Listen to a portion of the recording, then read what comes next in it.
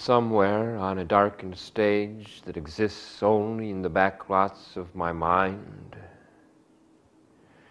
She hovers at the edge of a spotlight, an ankle here, a shoulder there, an occasional flash of smile. Her perfect breasts only hinted at in silhouette.